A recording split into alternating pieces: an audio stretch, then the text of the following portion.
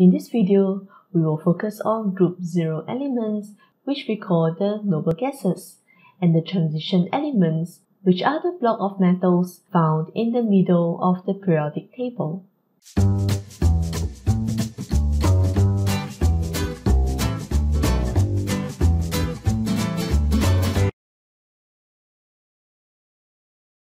The elements in group 0 or group 8 are called noble gases.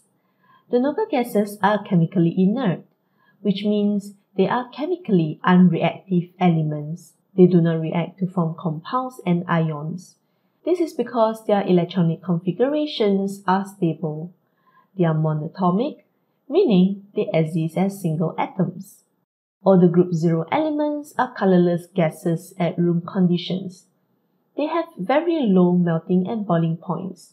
They are also insoluble in water.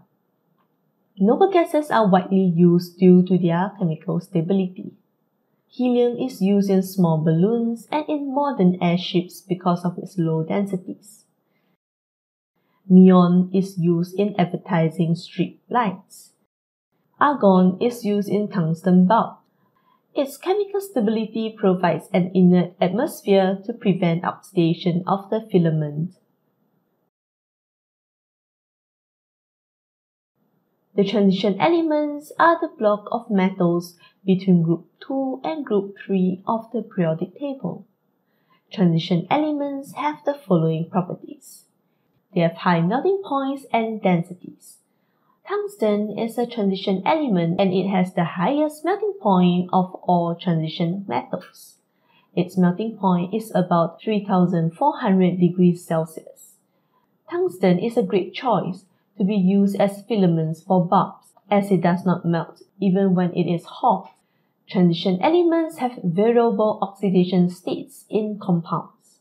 Iron has oxidation state of positive 2 in iron 2 chloride, which is FeCl2, and positive 3 in iron 3 oxide, which is Fe2O3.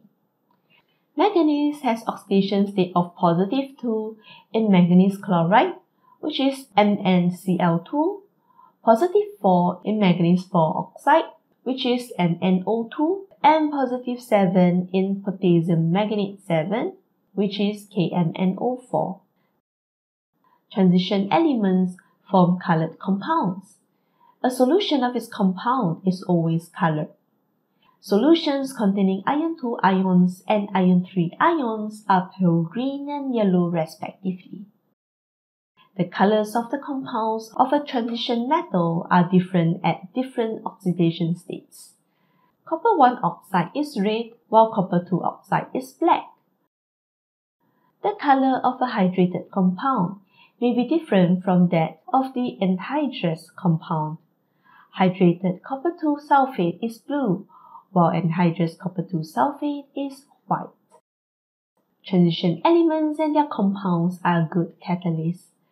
Catalyst is a substance that speeds up chemical reaction but remains chemically unchanged at the end of the reaction. Iron is a catalyst in the Haber process for the manufacture of ammonia.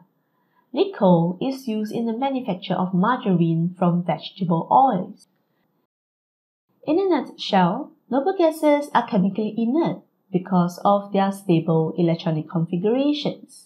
They are monatomic and are used widely due to their chemical stability. Noble gases have very low melting and boiling points.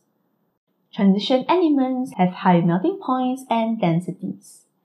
Their oxidation states in compounds are variable and they form colored compounds. Transition elements and their compounds are good catalysts. If you find this video useful, do share with your friends and like the video. Don't forget to subscribe to the channel for more chemistry learning resources. Have fun learning chemistry and I will see you soon.